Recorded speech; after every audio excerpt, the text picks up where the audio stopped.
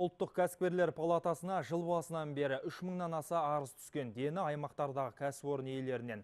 Бүгінде олардың 600-ден астамы шешімін тапты. Палата төрағасы Абылай Мырзахметов шағымдарды бірнеше топқа бөліп жеке-жеке тоқталды. Олар ауыл шаруашылығына бөлінетін субсидияның кеш берілуі, мемлекеттік сатып алудағы талаптардың қаталдығы, кей мемлекеттік бағдарламалардың кәсіпкерлерге тиімсіз жақтары мен құжаттарды жинаудағы уақыт ұзақтығы. Палат төрағасы осындай келеңсіздікті комиссия мүшелері туғызып отырғанын айтты. Осының алдын алу үшін комиссия құрамында кәсіпкерлер палатасының өкілі болуы тиіс.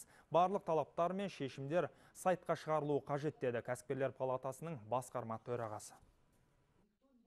шығыс қазақстанда мысалы бір мектеп салу үшін тендер айтылса сол тендерге қатысатын компанияның 15 краны болу керек деген алдын ала сондай талап қойылады ол дегеніңіз алдын ала он шақты компания оған қатыса алмайды.